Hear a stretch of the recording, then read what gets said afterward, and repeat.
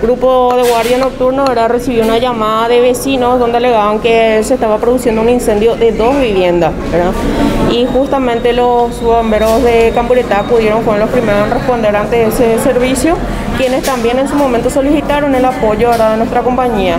Fue así cuando se dirigieron los móviles y constataron de que se trataba de una vivienda aledaño a un depósito propio de la familia también. Eh, realmente eh, se consumió en su totalidad debido a la cantidad de material inflamable con que se contaba dentro del depósito principalmente. Eh, a Dios gracias las criaturas que estaban dentro de la vivienda salieron a tiempo y se pudieron por lo menos controlar, contener y enfriar la zona del siniestro para evitar que pase a otras viviendas estaba aledaño a vecinos muy cercanos, lastimosamente eh, parte de lo que serían las estructuras pegadas a la vivienda se vieron afectadas también, pero nada más que hablamos de daños materiales, no de daños personales. aparentemente, ¿cuál habría sido la causa de este incendio de gran magnitud que se terminó dando? Sí, según lo que manifestaron, por lo menos las criaturas que estaban dentro, ellos manifestaron que en el sector del baño se inició, por lo que creemos que fue a causa del uso de la ducha eléctrica. Y a lo mejor no, no, se contaba con una buena conexión, todo eso, y eso se sobrecalentó y por eso se causó el siniestro.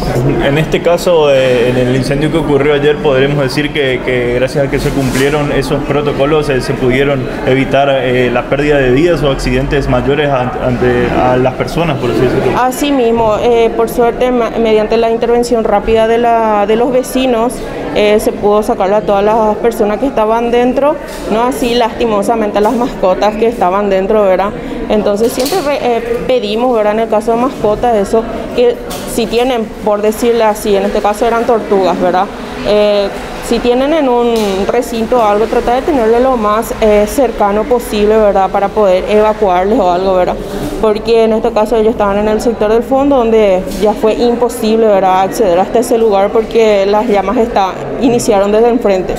Y en el caso de, porque se presentaron también que en un momento tuvimos que hacer un corte en el servicio porque llegaron los propietarios, ellos no estaban, solo las hijas, al llegar nos manifestaron que tenían proyectiles dentro de la casa, por lo que tuvimos que hacer un corte y ubicar dónde era la, sería la zona donde estaba eso y em, seguir con los trabajos de remoción con cuidado ya que el personal estaba expuesto en ese momento. En esos casos nosotros siempre pedimos no colocar en lugares donde hay mucho material inflamable, como ser normalmente en los roperos, ¿verdad? los placares donde suelen guardar esos tipos, ¿verdad? Yo sé que muchas veces para que no esté a mano de las criaturas y todo eso, pero evitar donde hay mucho combustible, porque eso pudo pasar a mayores con los personales que estaban trabajando sin saber que eso había dentro.